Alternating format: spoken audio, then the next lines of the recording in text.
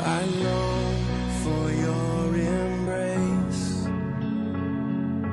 every single day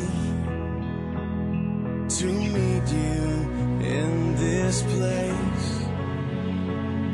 and see you face to face.